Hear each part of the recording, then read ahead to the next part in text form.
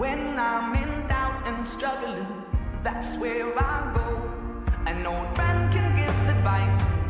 When new friends only know I have story, that's why I